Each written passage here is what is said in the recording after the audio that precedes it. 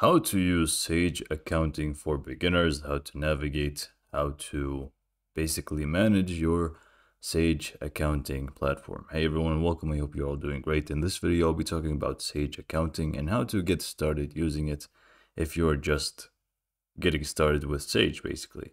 If you have no idea what Sage is, Sage is a platform that offers plenty of products here, as you can see, uh, and solutions for multitude of tools that are going to help you with your business, uh, whether it's going to be accounting or other stuff that could play a huge role to uh, make your business management a lot easier. So for accounting, you would want to obviously do all the financial needs for your business, like creating invoices and so much more um, for your business. So let's actually go ahead and get started about uh, how to sign up for Sage Accounting. So basically, you'll need to go ahead uh, and go to Google actually and just type in Sage Accounting sign up because I just could not find the sign up button in this page. Not at the bottom, not at the top. So instead, you will need to just go ahead to Google, type in Sage Accounting sign up, and you should be directed to this link here. Through this link, you'll be able to just sign up. You'll need to enter some information about your company and yourself, like company name, uh, product type, first name, and so much more. So just feel free to fill all of those in, and uh, I will see you when I am done with my part of the signing up process. Okay, so I have just finished signing up. Now, it did take me a lot of time because for some reason, the OTP for the phone number was not sending. So how I bypassed that. It could be useful to you as well if it does not send you a code for your phone number. Just wait out the time that they give you to wait. If it doesn't send you anything, they'll go to be uh, allowing you to confirm using email, which I just did. Just wait out the number period and then it should be good. Anyway, so now we're just going to click on remind me later for that. And now we have our company settings. Here are going to be the setup for your company settings. This is going to be for uh, your sake and making it more personalized for you. Just click on next uh, and you will need to fill in your details for your company.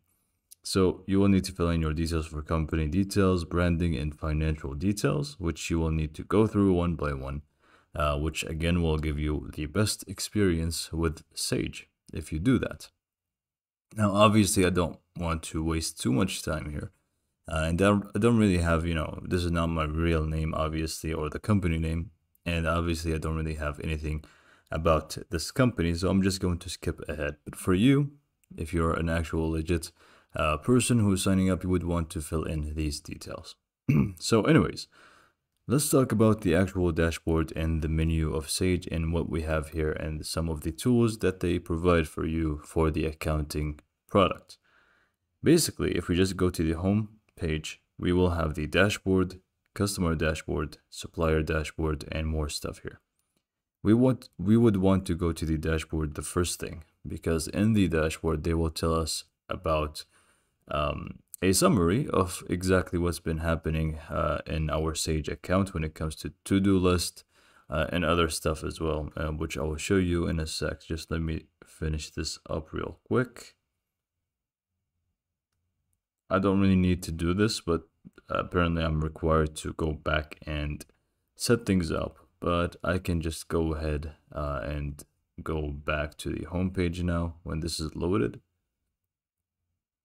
just going to take me a second hopefully. There you go go back to dashboard. Okay. So basically we have in the dashboard we have the to-do list. We have our banking dashboard. We have the top customers by sale and also the sales history. Sorry my voice is gone. But here we have the to-do list which is going to be a list of things for you to do that are assigned to yourself here you can also create quotes for customers, adding invoices, and you also have the workspace, which we will talk about in a sec. In the banking set, uh, system, or uh, section, sorry, you'll be able to add your bank account and all of those things. Again, we can also do them from here. Top customers by sale, self-explanatory, and sales history is also self-explanatory, but obviously this is going to be changed over time. Now we have the dashboard options here, where we can just add more stuff as well. We can click on add widget and we can actually remove or add whatever we want in the dashboard. This way we can actually change things to our liking and exactly what we want to see. For example, we want to see the top selling items and we want to also see something like purchase history, for example. And I want to remove the top customers by sale and I want to add the quotes. For example, after you're done, you can just click on save and it should be, uh, if we click on reset, actually don't click on anything, you're just going to pop up uh, in a sec. And you can actually go ahead and see how it's going to look like. And you can move them and just change where they are located if you want. So we have the to-do list, banking, sales history, top selling items, purchase history, and also we have the quotes now. So basically, customize the dashboard to your liking. Now we can move on to the workspace. In the workspace is basically the tools that you are allowed to use and create things from. So we can just go to the workspace and I'll show you exactly what I mean.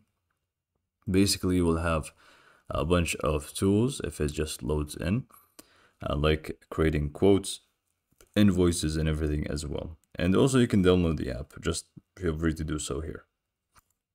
Okay, so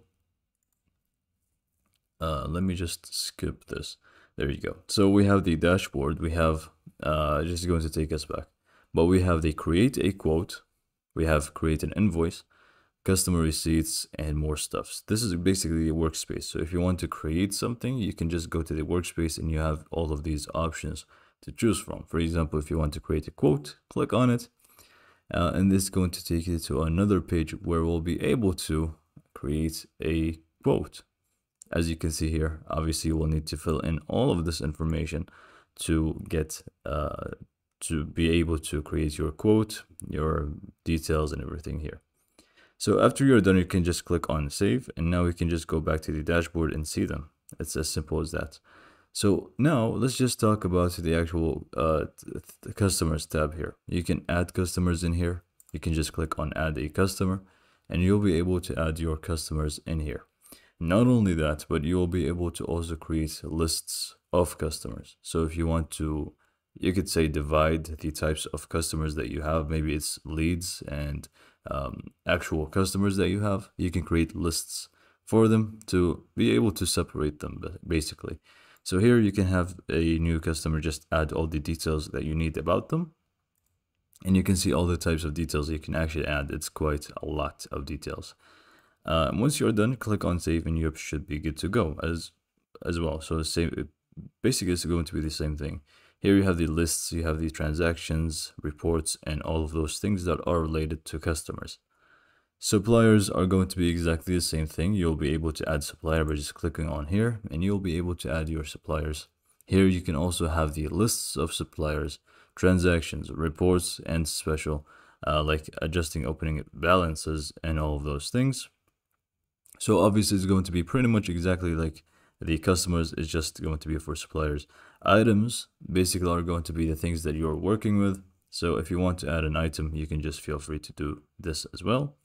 Now for the banking section, here are going to be some of the interesting stuff where you'll be able to add a bank account or a credit card.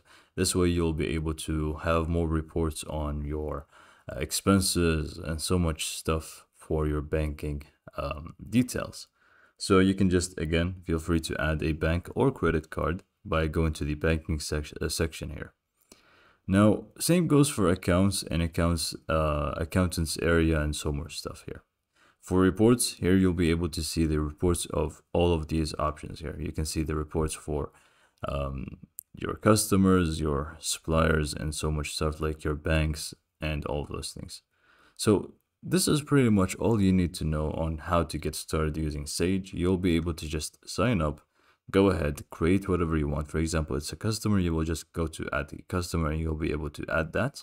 Same goes for the banking or accounts. Same goes for company. Here you'll be able to manage your company uh, and have more reports on them. You can import and export data as well. Uh, administration, you have more stuff like um, managing the users that you have working with you, and you'll be able to do more options for admins like changing passwords and so much stuff. And this is pretty much it. And then uh, after you're done, you can always just head back to the dashboard, customize it to your liking, and you can view everything that we have just created in the dashboard. It should be ready to go. So this is all I have for you today for Sage. I hope you found this video to be helpful and thanks for watching.